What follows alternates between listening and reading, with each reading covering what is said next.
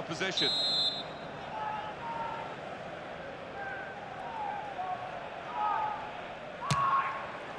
Oh, it's a terrific free kick, and the goalkeeper given absolutely no chance.